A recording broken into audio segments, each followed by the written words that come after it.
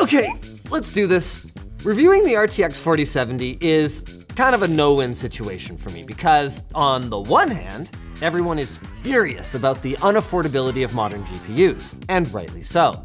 But on the other hand, I have to acknowledge that this is the best value proposition that we've seen in years. Then, on the other other hand, there's the fact that Nvidia, who controls all of this, appears to be making this product look like a good value by simply making all of their other ones a terrible value. I really do wish I could just sit this one out. Because by the time I'm done, at least some of you will have misdirected your anger toward me, the messenger. But here goes. This segue to our sponsor. VideoCom. Making a presentation for work or school? Let VideoCom help you spice it up by adding annotations, webcams, videos and images, and much more with just a few simple clicks. Check them out at the link down below. Looking at the specs alone, the RTX 4070 is pretty underwhelming. At just 295 millimeters squared, this is the smallest 70 class GPU that we've seen since the GTX 770, and with the same CUDA core count as the RTX 3070, this is the first time ever that NVIDIA hasn't given us more shaders generation over generation. But, but wait, wait, no, no. There are some things to get excited about here. Um, boost clocks have risen a whopping 43% compared to the RTX 3070, and the change to 12 gigabytes of GDDR6X memory is a welcome upgrade as we continue to watch VRAM usage in modern games go from unreasonable to downright idiotic. To quantify our excitement then, the lab performed a whopping 984 tests across 11 GPUs with CPUs from both Intel and AMD. We're gonna have links down below. They even threw in the Intel Arc A770 for funsies. Now, 1080p performance in rasterized games might seem kind of irrelevant for an enthusiast tier GPU these days. But for many competitive gamers, high frame rates are way more important than high resolution. And if you're one of them, the RTX 4070 is proper quick, with performance landing within 2% of the RTX 3080. This might not be the leap forward that you were hoping for, but given the pricing of even secondhand 3080s, it's kind of looking like a W. Kind of. Give me a sec. At 1440p, the story remains the same, with the 4070 neck and neck with the RTX 3080. But what really stood out to us here at both of these resolutions is how flippin' fast AMD's last gen has gotten thanks to their ongoing software updates. The 6800 XT now enjoys a small lead over the 3080, with the 7900 XT coming in a whole 40% faster than the 4070 and nearly matching the RTX 4080, a GPU that costs $400 more. Then at 4K, the 4070's W gets even more twisted and complex. Because outside of Forza, the RTX 3080 ends up outrunning it by anywhere from 5 to 19%. Or at least it does until you turn on ray tracing, where the gap narrows significantly. Now, the story NVIDIA wants to focus on here is not how the 4070 beats last gen by 25 to 30%, but rather on how it convincingly destroys the GTX 1080. From my point of view, though, beating a seven year old card is not the most incredible of feats, unless your name is Intel. It's just obvious that NVIDIA is bringing this up because they recognize the generation over generation upgrade is not that big, and they hope that it's all you Pascal owners out there that are finally gonna bite the bullet and upgrade. Moving on to productivity, in our benchmarks, there was one standout. In Photoshop, the Intel Arc A770 was able to best not only the 4070, but also the 4070 Ti and was even within spitting distance of the RTX 4080. I mean, I'm not sure that the average user updating their Tinder profile is gonna notice, but whatever hardware acceleration Intel built for Arc definitely works. Then, outside of Photoshop, Arc returns to its rightful place at the bottom of the stack, and the rest of the story remains largely the same as gaming, with the RTX 3080 and 4070 trading places depending on the exact workload, and AMD once again showing off that fine wine driver development. Outside of Blender, which remains a sore spot for Team Red, the 6800 XT put on an amazing show, winning more titles than it lost, at a lower price.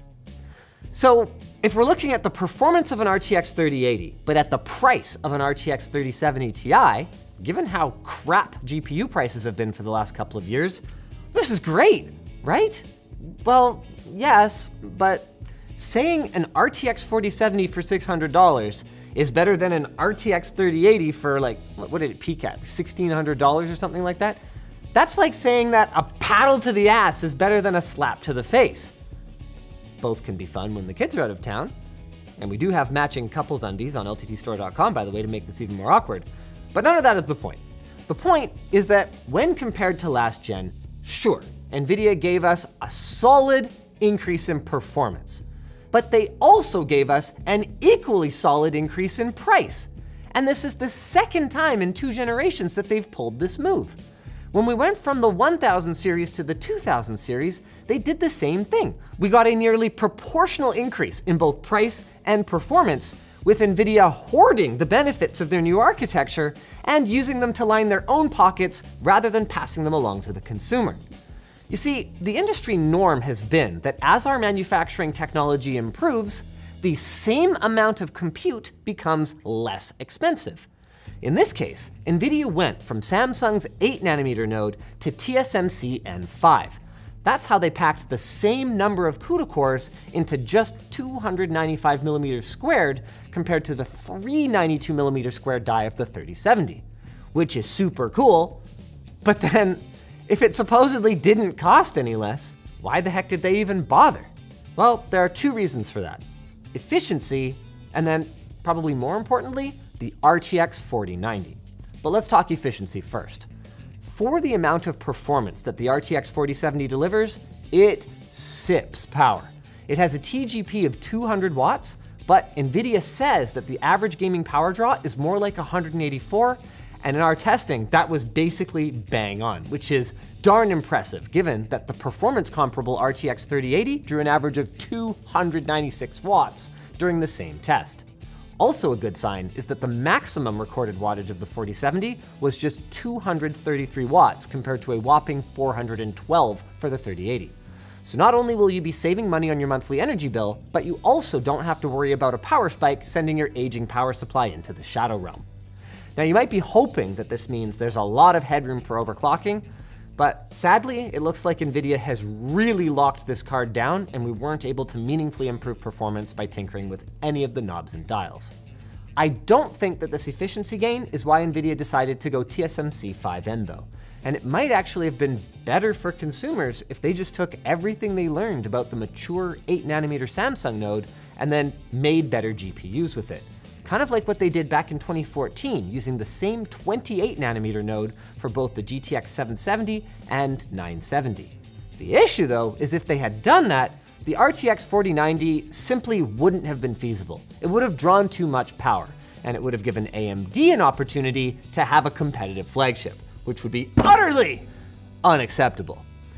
The 4090 is a true generational leap, coming in at just 7% more cost than the 3090, while being over 50% faster.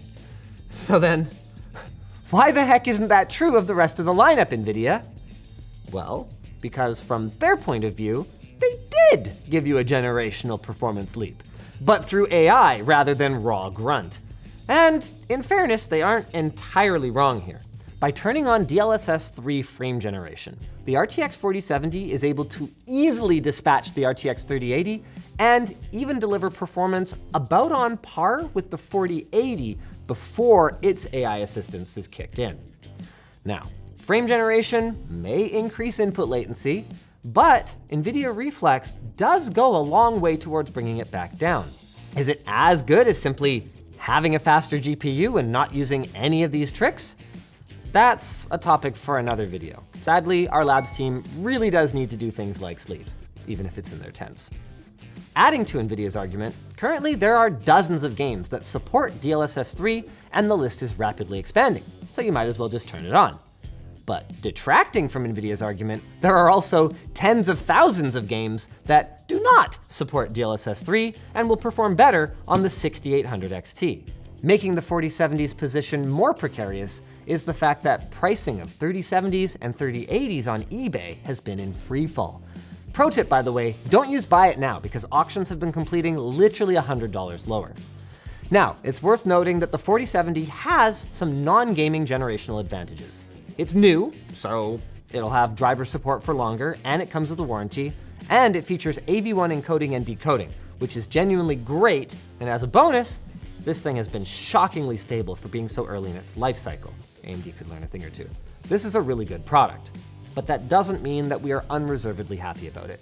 NVIDIA's whining about how they simply can't pass along any silicon cost savings just doesn't hold a ton of water. Development costs for new process nodes have increased substantially, but I also think that NVIDIA does have some room to move here if everyone else's pricing is anything to go by. One day, ARC will save us. but it is not this day. This day, I'm going to tell you about our sponsor. Vessi, it's April, and you know what that means? Rain. That's where Vessi comes in. They claim their shoes are 100% waterproof, keeping your feet dry during those unexpected downpours. Take them on and off with ease. Vessi has designed their shoes to be stretchy and convenient to wear. They're slip-ons, yes! With a wide range of styles available, you're sure to find a pair that fits your lifestyle. Even better, their shoes are made from cruelty-free products, right down to the glue. No more checking the weather right before you head out. A pair of Vessis will ensure your feet are taken care of. Rain or shine, snow or grime, there's always an occasion to throw on a pair of Vessis. Not to mention, their styles are modern and trendy AF. Treat your feet. Check out Vessi at vessi.com slash Linus Tech Tips and use code Linus Tech Tips for 15% off. If you guys enjoyed this video, you might enjoy our coverage of the CPU that you should pair with really any of these GPUs. The 7800X3D. It is flippin' unreal for gaming.